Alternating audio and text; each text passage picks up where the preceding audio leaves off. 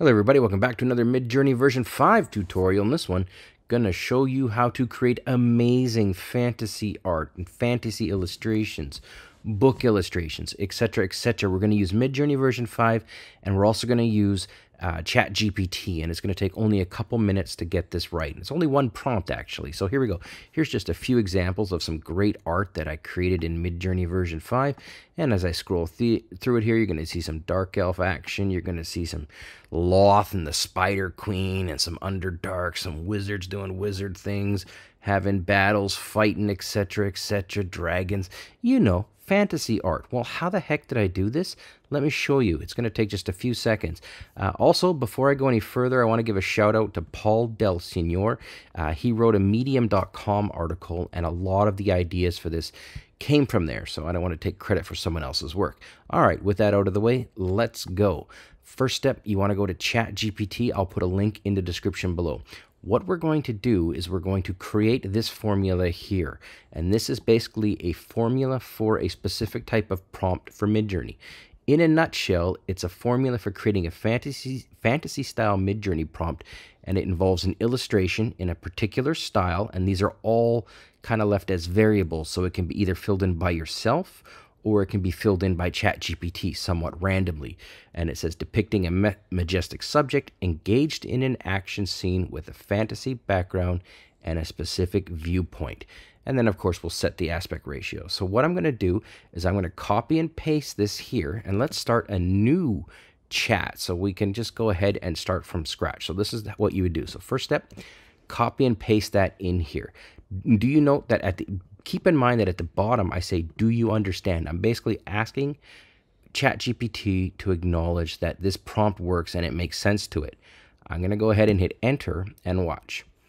Yes, I understand I understand the formula and here's what it consists of. Fantasy art style, majestic adjective, subject, action scene, fantasy background, fantasy artist style, perspective, aspect ratio. Beautiful. So it understands it. Now, this is the critical part.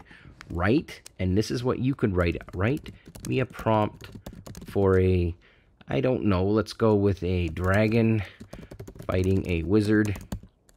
Enter. You can be as specific as you want with this. You can just type in dragon and it will fill in all the prompts. You can type in, you know, dragon fighting a wizard in, you know, in the wastelands with the cyberpunk. Like you can go over the top or you can go very, very um, basic. It's up to you.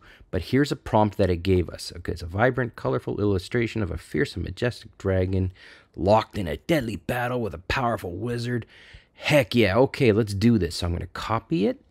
And now we're going into Midjourney. And now let's get to work. So in Midjourney, what you want to do is you want to go forward slash imagine, and this is it. Copy and paste this in. Now, before I hit enter, actually the aspect ratio, uh, we're going to delete that line because in order to change aspect ratio, you just want to go dash dash AR and then the aspect ratio one. So I'm going to go 16.9. So that was a that was an oversight. It didn't quite get that right, but there you go. Dash dash AR 16.9. So here we go.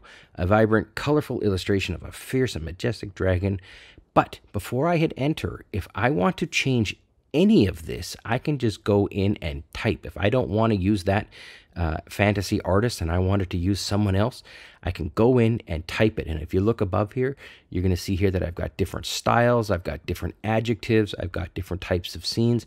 I've got a list of like 30 or so different fantasy artists. So if I wanted Richard Anderson instead of that other guy, I just want to make sure that this is very clear.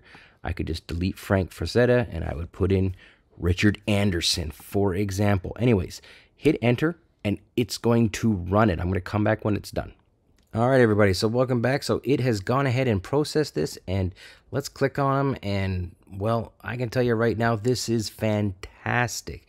I really, really like these shots. I mean, they're all good. The bottom right one here is great. This one is good. Yeah, the first three out of the four are shots that I could use. So if I wanted to use this bottom fourth one, I would just click on U4. If I want to use the top left one because I like the coloring, I would just click on U1. And of course, if you're new to Midjourney and not sure what the V means, this is variations. So I can go ahead and click on this and then I can change out any part here. So this is the remix prompt. So if I wanted it to be um, not by in the style of Richard Anderson, but Neal Adams, for example, I could just go ahead and type that in and presto, off it goes. It will remix it for me. Also, when we go back to Chat GPT here, I just said, hey, write another one, please. I added in please because I'm Canadian. And here we go. We got another prompt, and this one is about a cunning rogue sneaking through a treacherous dungeon. Awesome stuff, filled with traps and monsters. I mean, real Dungeons and Dragons type stuff. And presto, it's done its thing. I could just copy that, paste it in here. And finally, if I want to keep one of these images, I just right click on it and I go to save image and that's it. That's how you create amazing fantasy art front to back with ChatGPT and Midjourney version 5. If I missed any steps, if you have any questions, leave a comment. I will get back to you and help you out. Thanks for watching.